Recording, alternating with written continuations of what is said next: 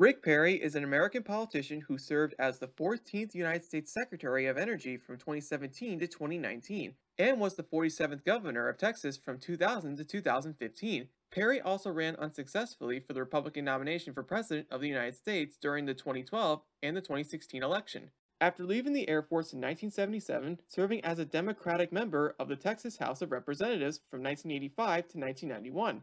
In 1989, Perry switched parties and became a Republican, and was elected Agricultural Commissioner of Texas the following year. In 1998, Perry was elected Lieutenant Governor of Texas, becoming the state's first Republican Lieutenant Governor since its reconstruction. Perry assumed the governorship of Texas in December of 2000, after George W. Bush, who was the governor at the time, resigned following his election as president. Perry was re-elected governor three times, but declined a fourth term, becoming the longest serving governor in Texas history so far. In 2016, he would become the first governor to compete on Dancing with the Stars. The reason why he did the show, mostly because his daughter Sydney was getting married at the time, so he wanted to get himself prepared before he dances with his daughter. He will be partnered with Emma Slater, who just took the previous season off, which was season 22. When they first got onto the dance floor, they would not get off to a great start, while the next two dances from week 2 and 3 would be a tiny bit better.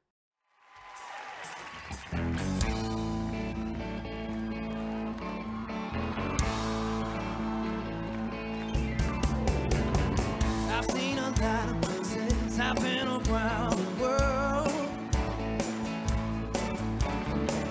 I've seen some pretty faces.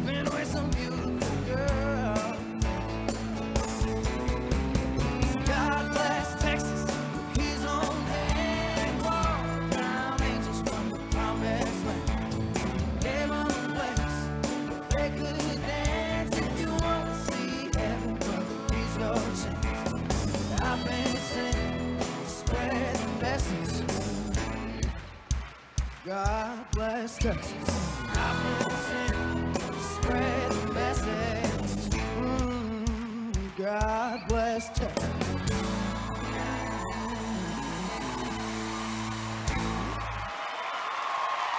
Rick and Emma.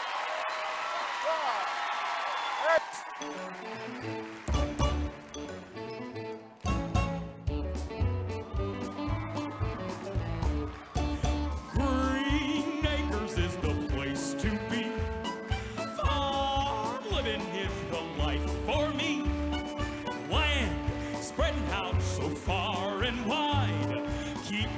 Manhattan, just give me that countryside. New York is where I'd rather stay. I get allergic smelling hay. I just adore a penthouse view. Darling, I love you, but give me Park Avenue. The chores,